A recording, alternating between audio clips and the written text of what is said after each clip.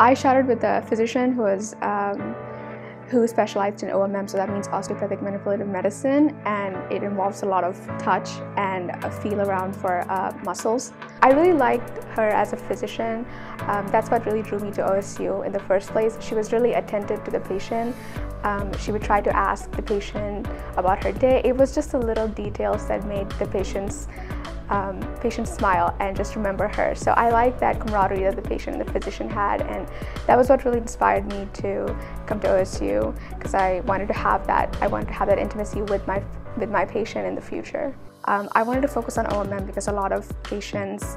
Uh, uh, when they have they're in pain they take pain medications and a lot of times you're treating the symptoms and uh, with OMM you're treating the body and uh, ensuring that the symptoms don't show up again.